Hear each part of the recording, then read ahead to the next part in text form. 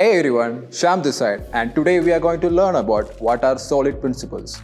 Today let's explore solid principles, a set of guidelines that helps software developers write cleaner, more maintainable code. SOLID is an acronym for five design principles that make object-oriented programming more effective. SOLID principles play a crucial role in reducing code complexity, making your code base easier to test and modify.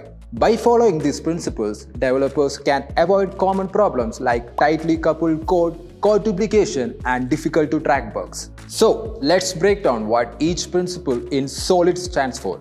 S stands for Single Responsibility Principle or SRP. Each class should have only one responsibility or reason to change. This keeps classes focused and makes them easier to manage. Now, O stands for Open or Closed Principle or OCP.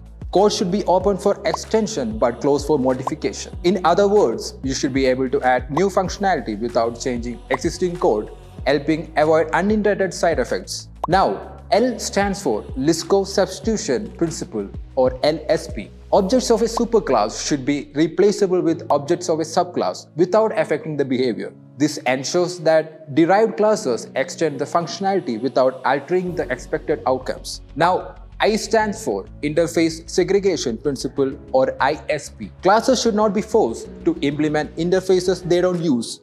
By creating specific, small interfaces, developers ensure classes only contain relevant functionality. Now D stands for Dependency Inversion Principle or DIP. High-level modules shouldn't depend on low-level modules. Both should depend on abstractions.